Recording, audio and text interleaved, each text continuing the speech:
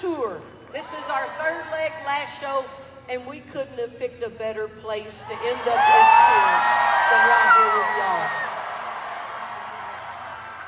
Oh, my goodness.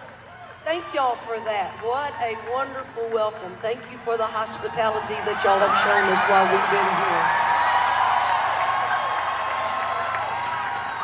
You know, it's a really wonderful thing to get to go on tour with your friends. Can we give one more big rip roaring round of applause for my friends, Terri Clark and the Isaacs?